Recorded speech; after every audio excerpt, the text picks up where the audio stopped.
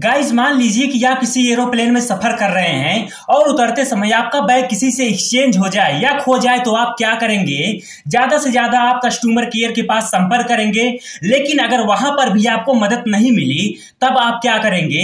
Guys ठीक ऐसा ही हुआ है। पटना से बेंगलुरु के लिए ट्रेवल कर रहे सॉफ्टवेयर इंजीनियर नंदन कुमार के साथ दरअसल इंडिगो की फ़्लाइट से यात्रा पूरी करने के बाद जब वो घर जा रहे थे तो उनका बैग किसी दूसरे पैसेंजर से एक्सचेंज हो गया तो उन्होंने यह सूचना इंडिको के कस्टमर केयर को दी लेकिन वहाँ से भी उन्हें कोई रिस्पांस नहीं मिला। तो उन्होंने खुद ही अपनी बैग ढूँढने का फैसला किया और उसके लिए उन्होंने हैकिंग का सहारा लिया और उस एयरलाइन कंपनी की वेबसाइट को हैक कर लिया और हैक करने के बाद अपनी बैग को खोज लिया। गाइस अगर नंदन की जगह आप होते तो आप क्या करते? कमेंट बॉक्स ज़रूर लिखना।